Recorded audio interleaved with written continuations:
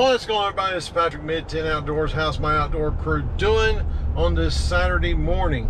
Holy crap, look at the deer running. Look at that. I hope y'all were able to see the deer running. Holy crap, I've never seen that. Anyway, that wouldn't happen again in a million years. Um, so anyway, this video this Saturday morning is going to be a rewind of 2021. What a dumpster fire. Wait a minute, that was 2020.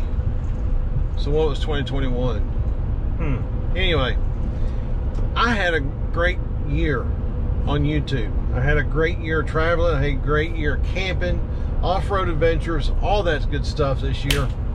2022, only more to come. Only more to come. With a big trip coming the fall of 2022. So stay tuned for all that. The live Friday Night Lives will be coming back in January.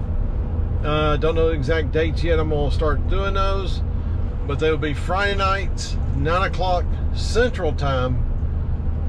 Figure out the rest of the times for everybody else. 10 o'clock, you know, your East Coast. 8 o'clock Mountain. 7 o'clock West Coast. So anyway, guys, I appreciate all the support for this year. I look forward to more of your support in 2022. Don't forget to get merch down below. There's a link. Also, don't forget to check out all of my links down below my Instagram, my Facebook page, all that stuff. Big news coming through those things too.